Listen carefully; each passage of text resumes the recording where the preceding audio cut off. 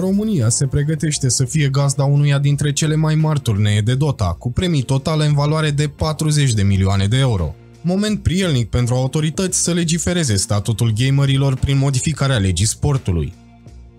Dacă până acum esports erau din punct de vedere legal în aceeași oală cu jocurile de noroc, odată cu noile schimbări, acestea vor intra în rând cu restul sporturilor clasice.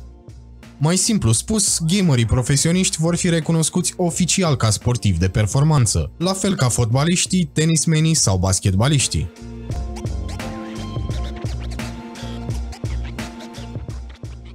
Ne-am implicat în acest comitet de lucru care de un an de zile a creionat uh, o propunere de modificare a legii sporturilor care să includă și e-sports-ul uh, în ramurile sportive, uh, ceea ce va permite uh, o mai bună organizare a cluburilor, uh, o mai bună organizare a competițiilor, dar uh, mai ales recunoașterea jucătorilor de e-sports ca sportivi, conferind totodată un spațiu de, de, de siguranță părinților care până acum nu îi vedeau ca pe niște profesioniști pe propriilor copii și impresionat că nici nu îi încurajau să meargă în această direcție, în acel mod profesionist, nu haotic cum era până acum.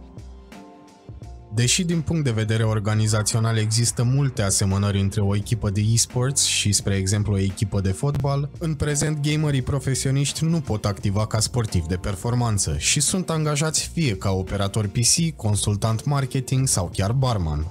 Da, într-adevăr, mi-a luat șase ani de zile ca să-mi dau seama care e treaba cu antreprenoriatul și acum cumva trebuie să mă adaptez la noua, uh, noua realitate. Dar, pe de o parte, e absolut firesc. Așa e în țările dezvoltate Adică faptul că, nu știu, în Franța e-sports este recunoscut și PSG-ul are și divizii de echipă de e-sports, le dă foarte multă încredere partenerilor sau sponsorilor și chiar și jucătorilor. Imaginează care e moralul unui jucător care e uh, professional athlete versus moralul unui jucător din România care e ținut pe, nu știu, un contract de referent marketing sau habar n-am drepturi de autor sau mai știu eu ce.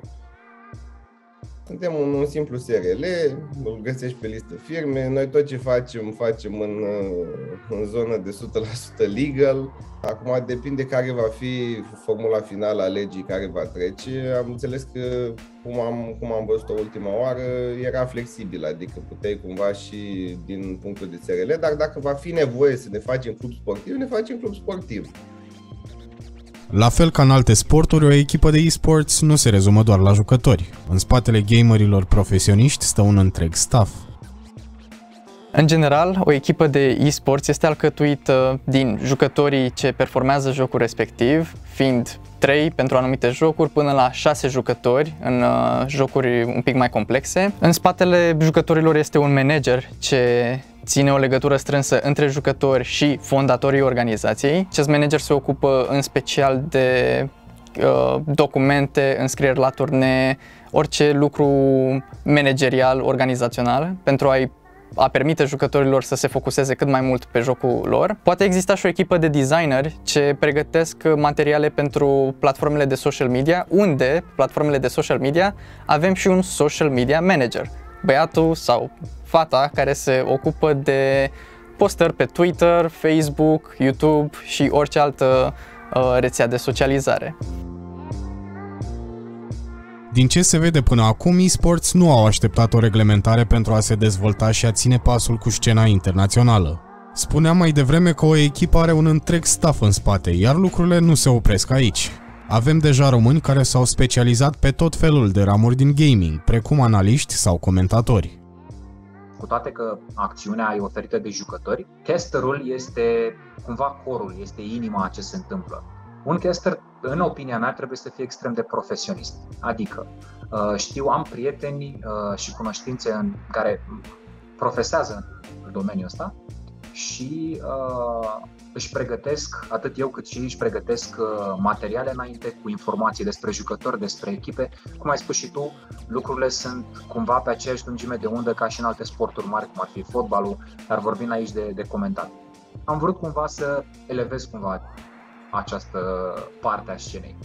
cumva să oferi și audienței meritul pe care ar trebui să-l aibă, pentru că ei ne susțin întotdeauna. Ei sunt pe chat, ei uh, ne urmăresc pe live-urile din afară, ei se uită pe HLTV. România are, cred că, cea mai, una dintre cele mai active scene când vine vorba de audiență. Dacă e să raportăm la salariul mediu pe București, de exemplu, care e undeva la 4.000 de lei, cred că un caster, un caster uh, depășește cu siguranță acest eșalon și, uh, și cu succes.